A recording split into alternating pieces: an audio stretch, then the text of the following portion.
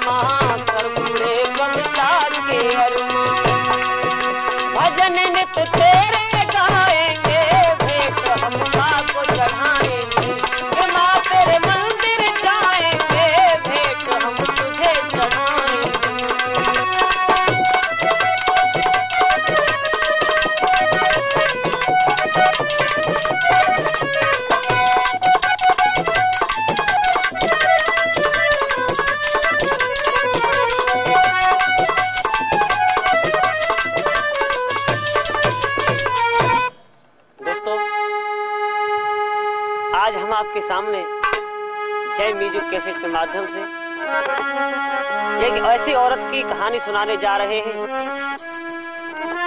यानी औरत की ज़िंदगी में सिवा दर्द के अलावा कोई चीज़ नहीं है। तो आइए कैसे? कि दिल थाम कर, दिल थाम कर, सुनना सभी। और ये किस्सा है गमगीन। और देखी ऐसी घटना तो है दिल अपना भर अपना भर आया, ये कैसा दूध का कर्ज चुकाया। फिर अपना भर आया, ये कैसा दूध का कर्ज चुकाया।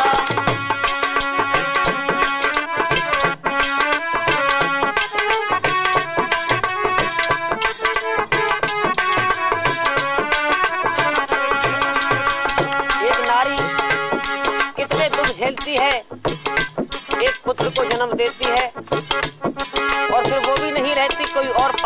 कैसे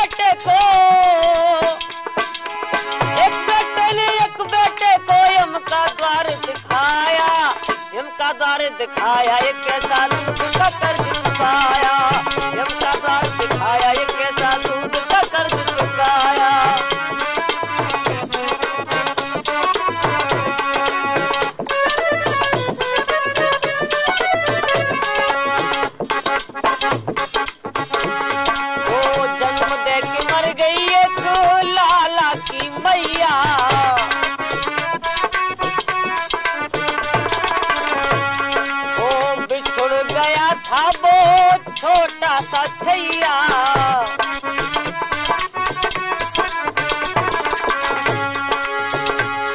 वो दूध का कर्ज चुकाने को है, मौत को गले लगाया। मौत को गले लगाया एक कैसा दूध का कर्ज चुकाया मौत को गले लगाया एक कैसा दूध का कर्ज चुकाया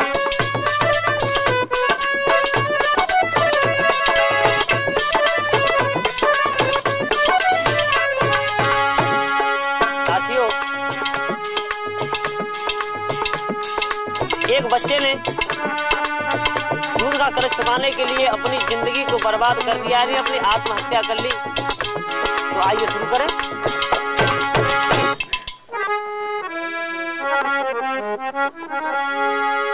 कि गुजरपुर एक गाँव, बसो सुख धाम सुनावे भाई। और ने ध्यान लगाए के सुनियो रे ये किस्सा चितलाई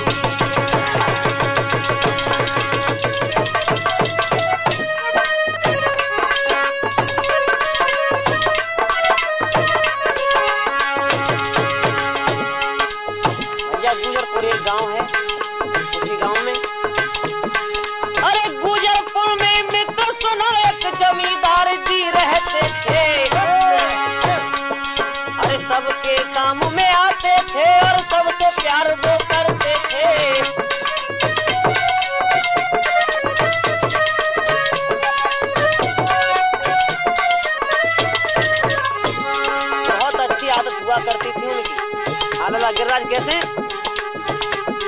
अरे तीन महीना को एक लड़का घर में बंचो प्यारा था। अरे मात पिता की आँखों का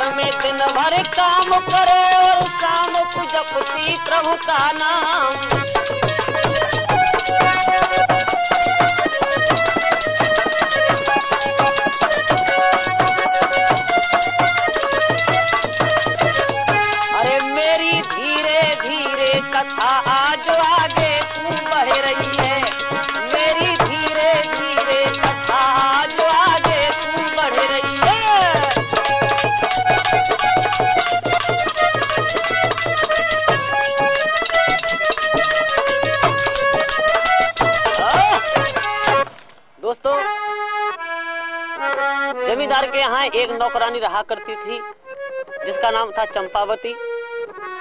चंपावती के तीन महीने पहले ही पति मर चुके थे। बड़ी दुख में रहती थी। कैसे?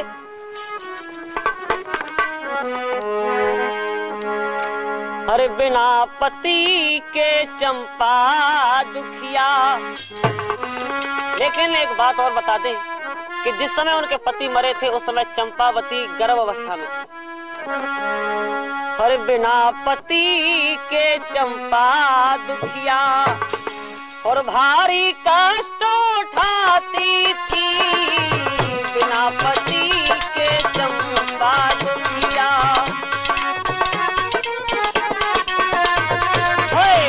महले ही मरा था पति वो तीन महले ही मरा था पति और निस दिन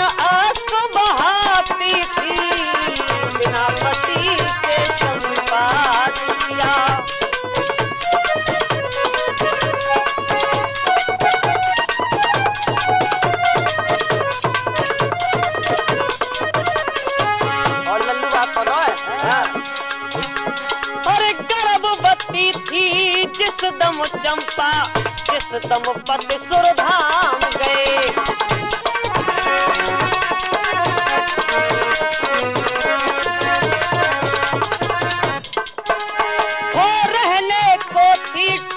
झोंपड़ी, बिगड़ वो सारे काम गए। क्यों? एक आसनी जी रही थी बेचारी। कि होगा मेरी कहने लगी होगा पुत्र मेरी कोख से। प्रभु से हेत लगाती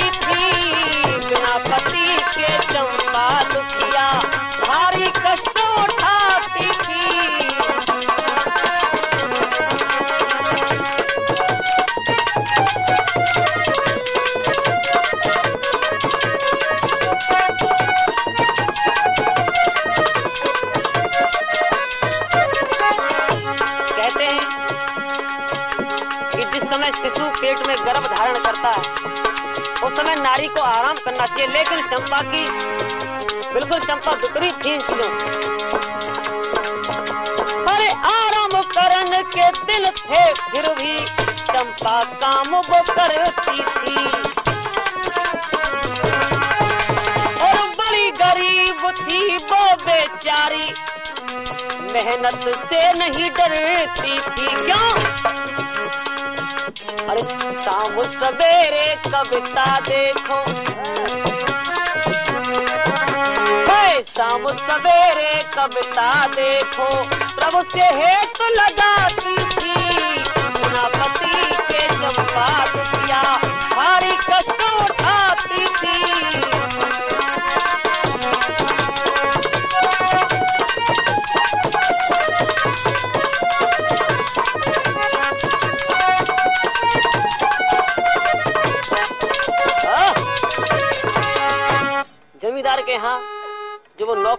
करती थी। बेचारी बड़ी गरीब थी पति मर चुके थे। पेट में गर्भ था। लेकिन घर की जो उनकी जमींदार की जो पत्नी थी चंपा से बहुत ज़्यादा प्यार करती थी। एक नौकरानी नहीं अपने घर की सदस्य की तरह उनको रखा करती थी। एक दिन एक दिन रात को हुआ क्या? क्या हुआ भैया? थोड़ा समय बीत गया थोड़ा समय बीतने के बाद। अरे बादल गरजे, आज तो मेरे भैया।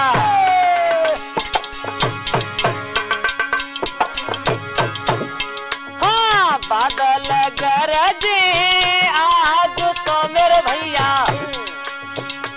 कोई घटा रही थी गहराई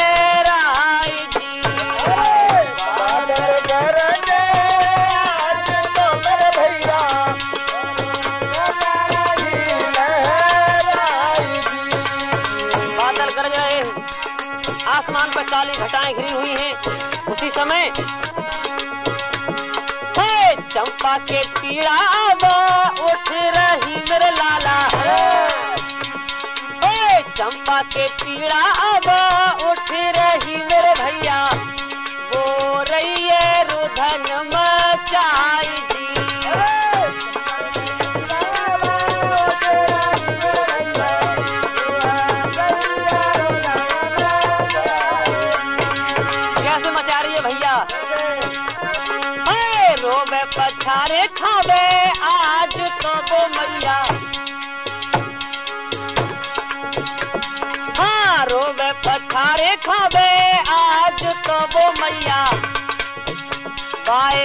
मालकिन रही समझाई जी।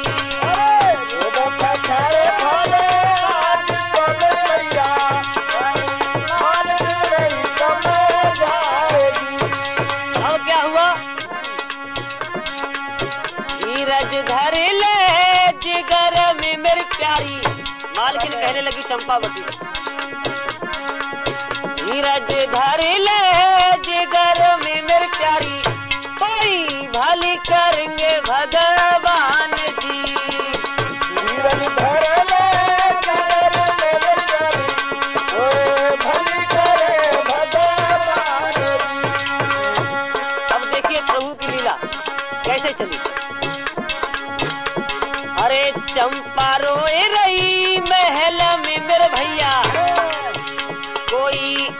आगे तो गाँव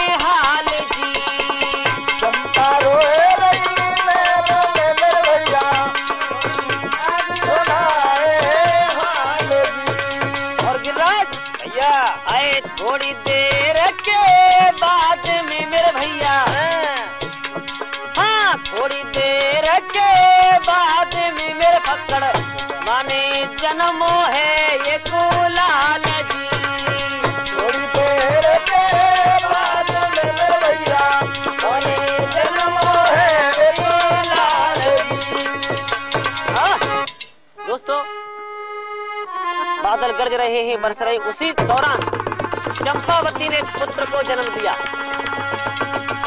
जब पुत्र को जन्म दिया, लेकिन जन्म देने के बाद में एक घटना घट गई। इधर तो पुत्र को जन्म दिया है। अब माँ की हालत बिगड़ने लगी। जब उसने ये जान लिया कि मैं जीवित नहीं रह पाऊँगी तो मालकिन को बुलाया और उनकी गोदी में अपने पुत्र को दिया और आँखों में आँसू भरकर मालकिन से वो चंपावती क्या कहने लगी? क्या कहने लगी? अरे हाथ जोड़ के कहती तुमसे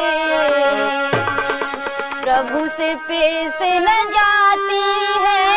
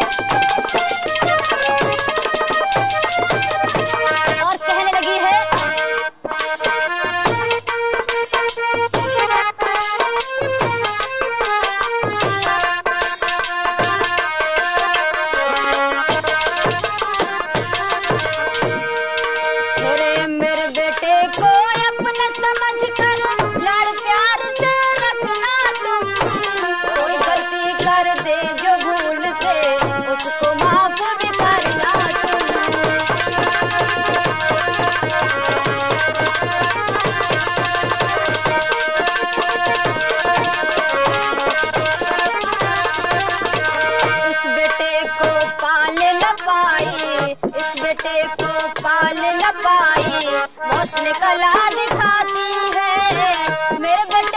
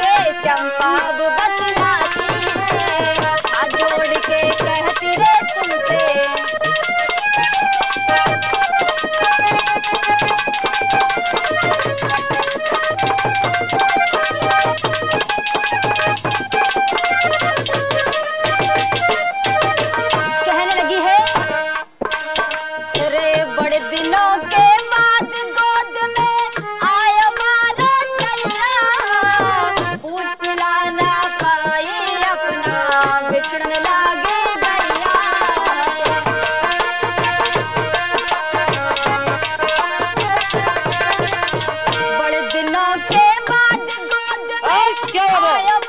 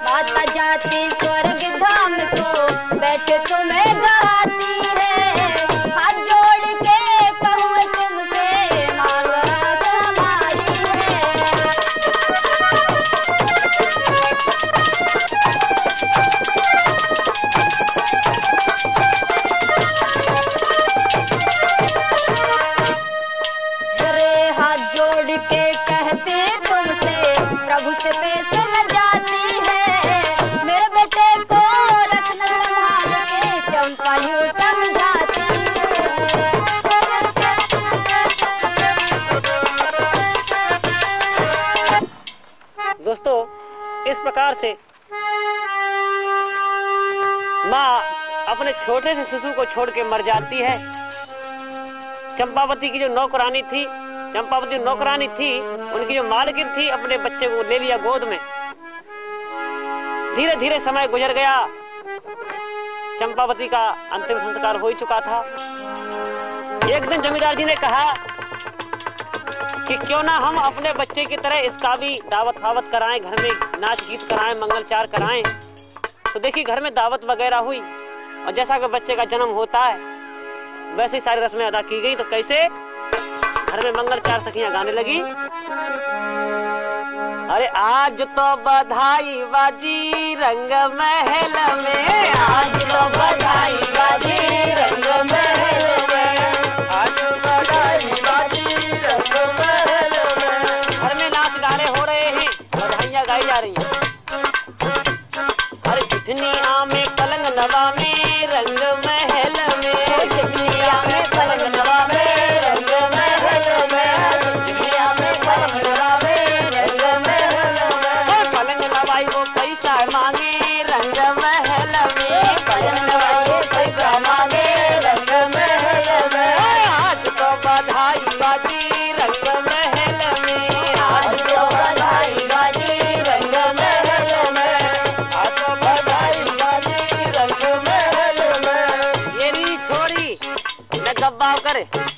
लौड़ा क्या तो फाड़े गो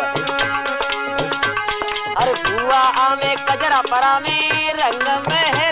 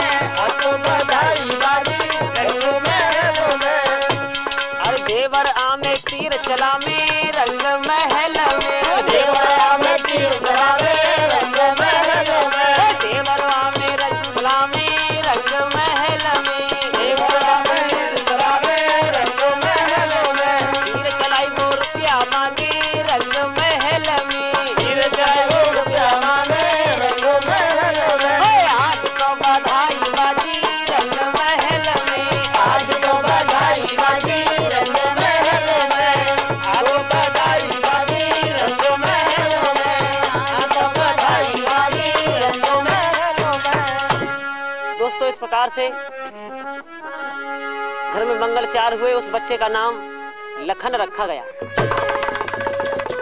जिससे कि जमींदार का लड़का था, उसका नाम भरत था। धीरे धीरे धीरे धीरे समय गुजरा तो ये बच्चा कुछ बड़ा हुआ, यानी गलियों में खेलने लायक हुआ।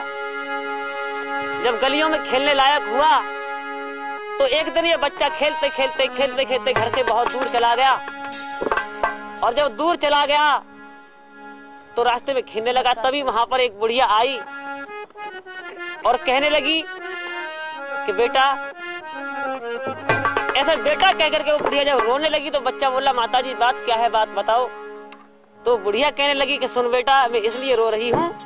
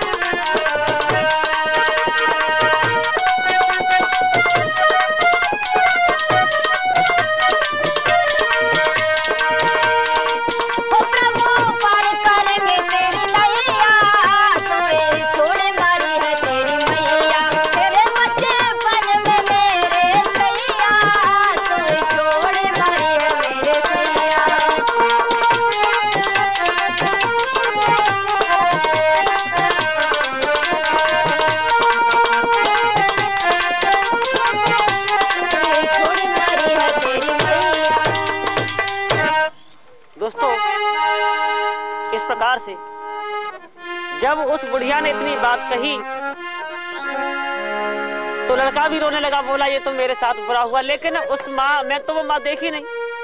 इसी माँ ने मुझे इतना प्यार दिया है कि मुझे तो मालूम ही नहीं, मैं तो यही मेरी माँ है। अब वो उस बुढ़िया से, वो बच्चा कहने लगा।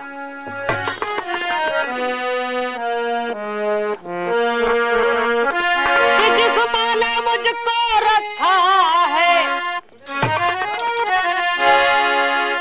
जिस मुझको रखा है, और हाय अपना बेटा बना करके अपना बेटा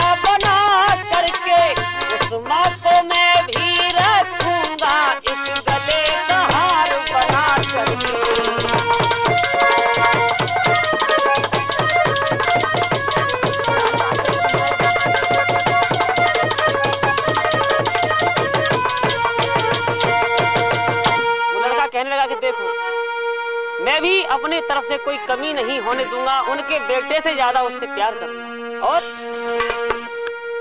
कि माता चाहे कुछ भी कहे, और मैं हर दम उन्हें मनाऊँगा। हर दम उन्हें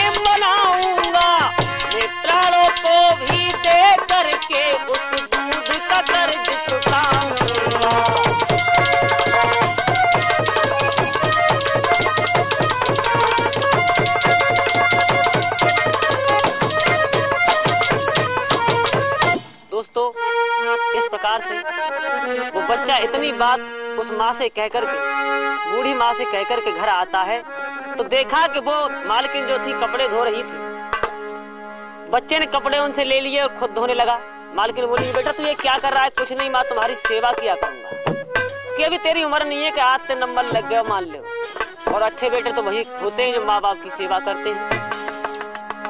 अब धीरे धीरे समय गुजरा, दोनों बच्चे बड़े हो गए। तो सबसे पहले जमींदार के लड़के की शादी हुई। तो दुल्हन घर में आई। थोड़े दिन व्यतीत करने के बाद, एक दिन,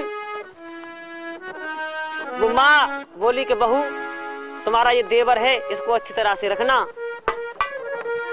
देखिए, अच्छी तरह तो बहुत दूर है। आजकल की बीवियाँ कुछ अलग होती।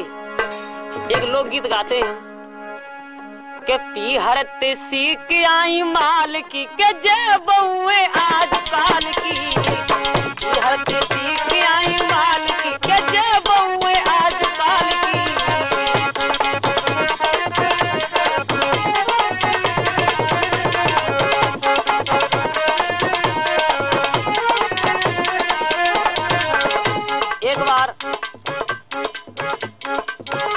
लड़का एक लड़की को देखने पहुँचा। हर लड़की ऐसी नहीं होती, हर बहू ऐसी नहीं होती।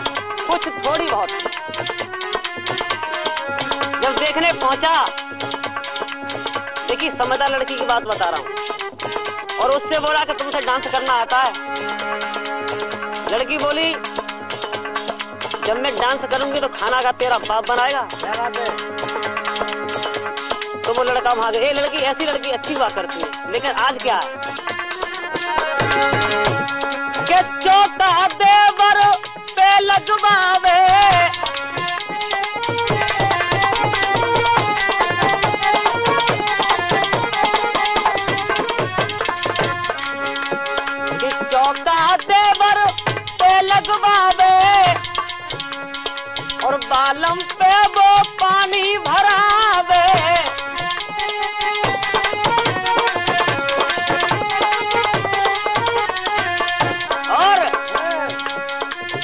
ये तो पीहर से सीख आई। मालकी के जे बहुए आज काल की।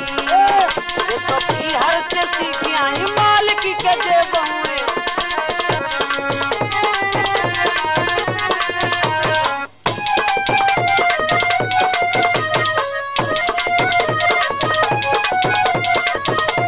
आओ। साथियों, इन्हीं में से जमींदार के लड़के की बहू थी। अब देखिए होता क्या है कि जमींदार की लड़की की बहू थी एक दिन माँ, यानी मालकिन अपनी बहू से कहने लगी, क्या? कि मोय लग रही भारी, भूख करे बहू।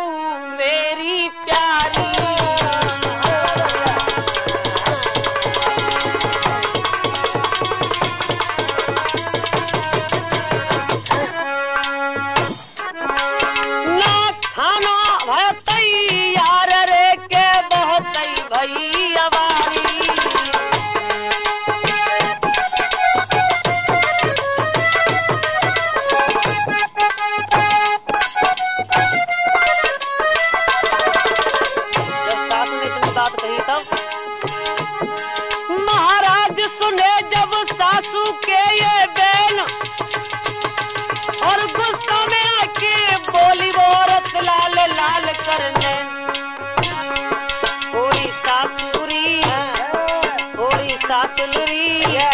अब ही उम्र मेरी भारी है। बनायो, नाई जायो री अब ही उम्र मेरी भारी है।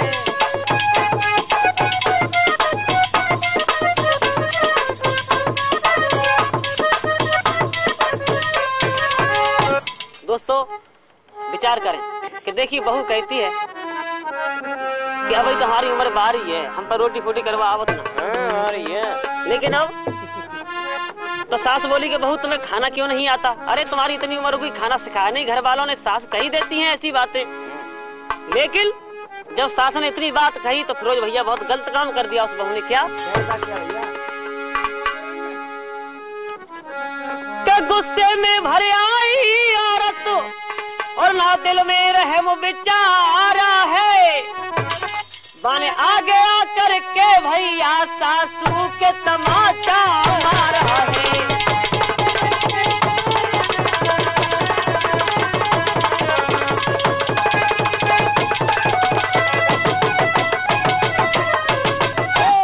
दोस्तों, आज अपनी सास के रोटी खाना बनाने के पीछे चांटा मार दिया। और जो पति था उसका, यानी जमींदार जी का लड़का देखिए, खड़ा खड़ा देख रहा उसने यो नहीं कहा कि तू क्या कर रही है। तभी वहाँ पर वो छोटा वाला आया जो चंपा का लड़का था। बोला, भाभी, तुमने ये क्या कर दिया? अरे, मेरी माँ पर तुमने हाथ उठा दिया। बदतमीज शर्म नहीं आई तुम्हें? और जैसे ही इतनी बाने कही तभी भाभी ने कहा, करो कि लेके डंडा बा में मारो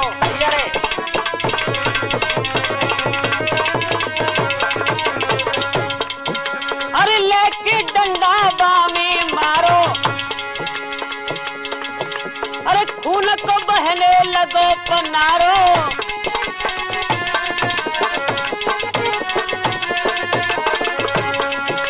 अरे भैया, ऐसो शब्द उच्चारो। अरे लखनी रो बैठाड़ो ठाड़ो। हाँ? अब देखिए जमींदार के लड़के की बहू ने चंपावती के लड़के को भी मारा। जब मारा और कहने लगी, नौकरानी के लड़के मुझसे जवान लड़ाता है। तो वो लड़का कहने लगा, तुमसे किसने कहा कि मैं नौकरानी का लड़का हूँ? अरे, मैं तो इन्हीं माँ का लड़का हूँ, जमींदार जी का लड़का हूँ। अब माँ ने दोनों को शांत कर दिया, दोनों अलग अलग हो गए। जब अलग अलग हो गए तो देखिए वो औरत सोचने लगी कि कैसे भी करके इसको घर से निकाला जाए, क्या करे, क्या ना करे। तो उसके दिल में एक विचार आया। औरत के पास ये एक तलवार होती है। विचार आया और अपने पति से कहने लगी कि देखो जी तुम्हारा भैया बड़ा खतरनाक है। हमारे संग में बड़ा खराब काम करो। कहा करो। अरे के बस यही मत पूछो कहा करो? सुनो कहा करो। सुन लो बलम कहानी के भैया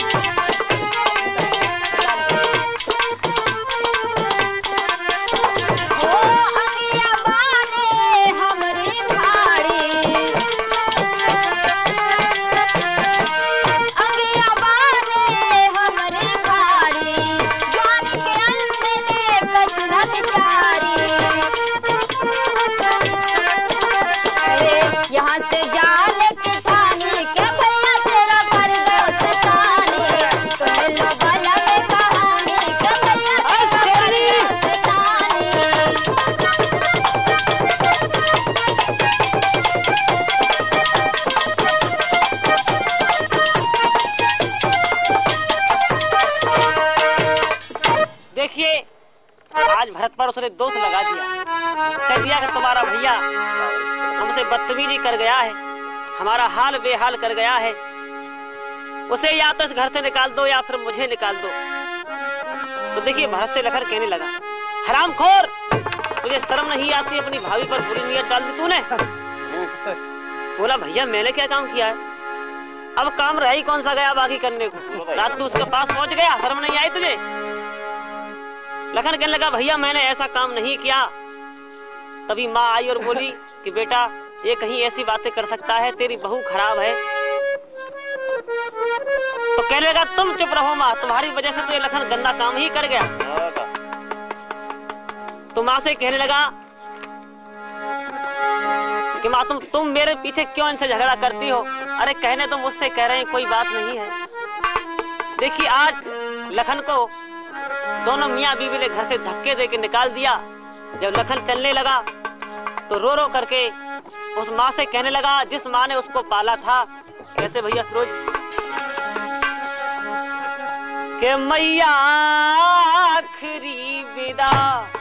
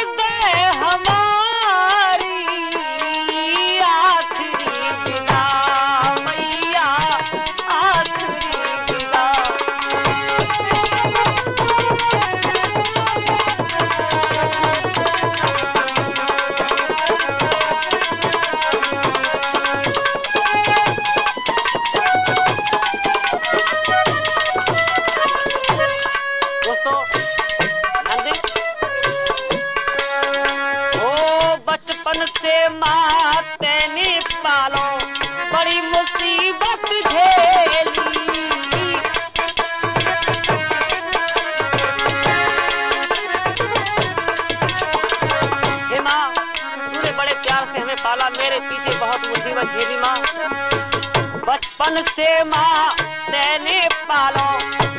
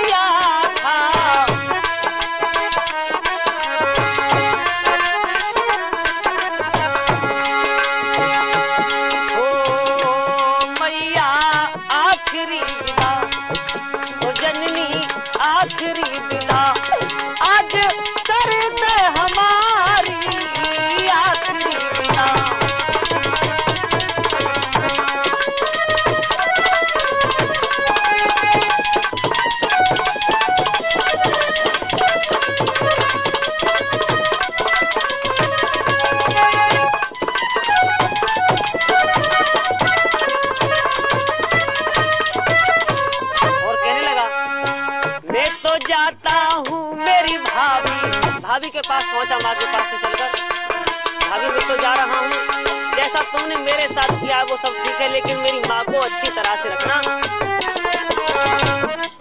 ओ भाभी, मैं तो जाता हूँ मेरी भाभी। माँ से कुछ ना कहना भैया भाभी के संग मिलकर माँ की सेवा करे करना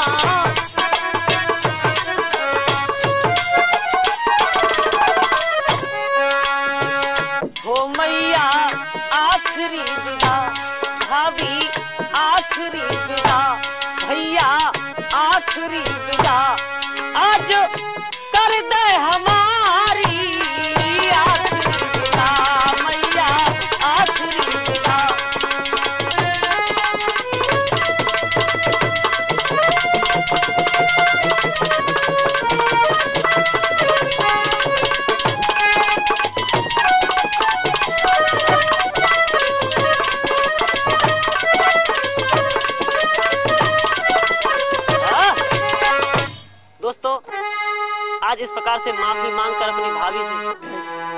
से चला है और कहा कि, भाभी, मेरी माँ को संभाल के रखना।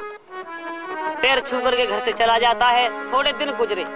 जब थोड़े दिन गुजरे तो वो बहू घर में क्या हृदंग मचाने लगी। देखो, सास की सेवा करना तो बहुत दूर फिरोज भाई। कैसे? अरे वो सास पे हुक्म चलावे।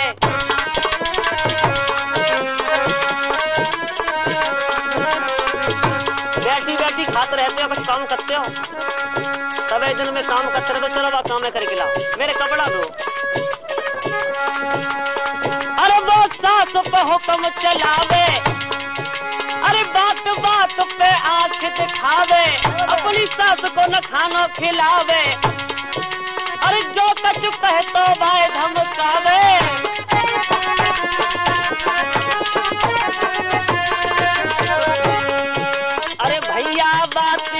सन जावे।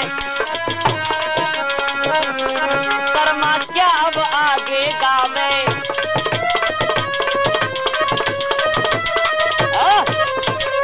दोस्तों बार बार उसको सताने लगी, धमकाने लगी।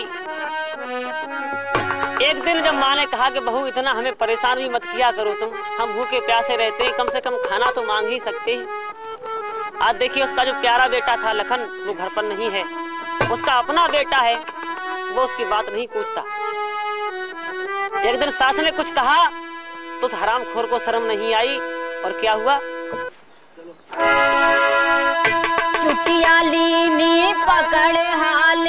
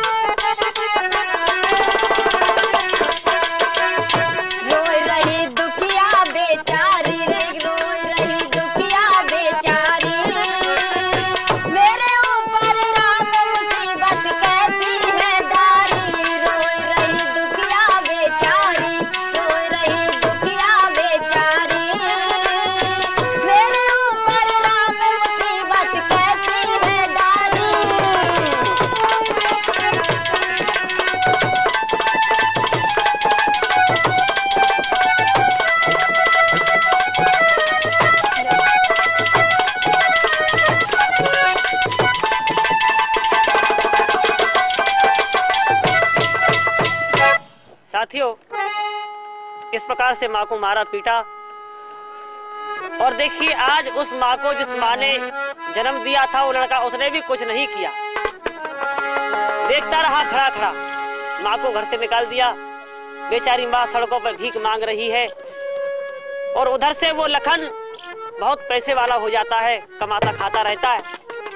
जो चंपा का लड़का था, जब आता जैसे ही माँ को देखता है, बोला, माँ, ये क्या बात है? तो सारी घटना वो बताती है। तो उस माँ को घर लेकर आता है और कहता है कि भैया, तुमने भाभी से कुछ नहीं कहा। मेरी माँ को मारा रे तुम्हें शर्म आनी चाहिए। अब वो छोरा सोच रहा हूँ मन में कि जे और अड़म पक्का वो। रात को देखिए उसकी पत्नी कहने लगी कि तुम ऐसा करो जो अपनी मेहताई ये बात दो न रहेगा बाँस न बजेगी बांसुरी अब हुआ यूँ कि रात को जब माँ सोई तो वो हत्यारा बेटा उसका आज मारने को चला है। लेकिन लखन देख रहा था ये सारा ड्रामा। जैसे ही कटारी उसने उठाई, मारने के लिए माँ को तभी लखन आगे आ गया। और लखन के वो कटारी पेट में भुग जाती है। लखन ज़मीन पर गिर पड़ता है। और कैसे? कि मेरे दिल में रह गई आस। अरे सुनो मेरी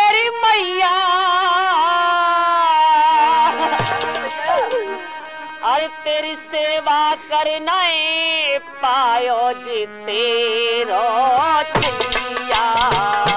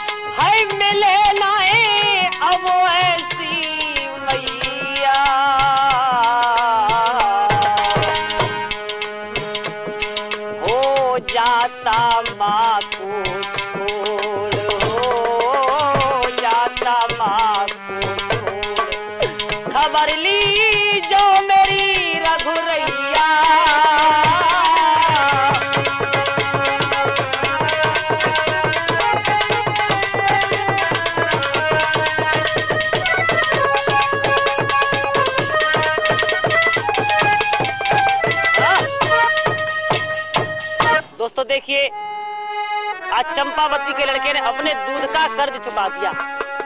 मर गया बेचारा। दूध का कर्ज चुका के मर गया। इधर में उस माँ को उन्होंने फिर घर से निकाल दिया। मेरी तो समझ में नहीं आती भक्तों, ये हो क्या रहा है जमाने में? एक बात मेरे दिमाग में आती है। कहानी तो हमारी यहीं पर खत्म है कि बच्चे ने दूध का कर्ज चुका दिया, लेकिन उससे पहले आज के युवाओं के लिए मैं एक माता की तरफ़ से दो बातें कहूँगा।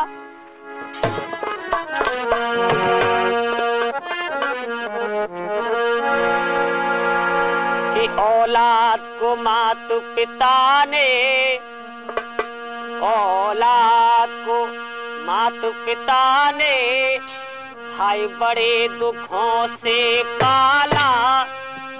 और बीबी की खातिर माँ को बच्चे ने घर से निकाला।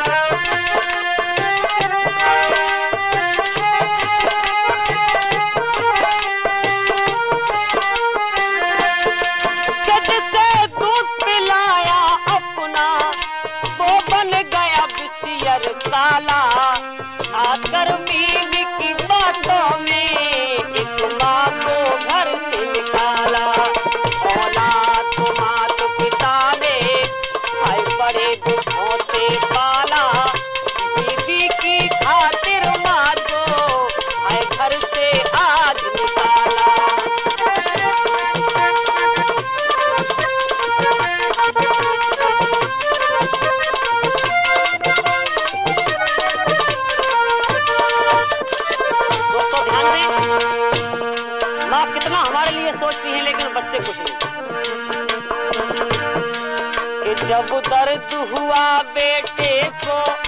माँ बिलख बिलख कर रोई। कब मांग उठे ये खाना, यही सोच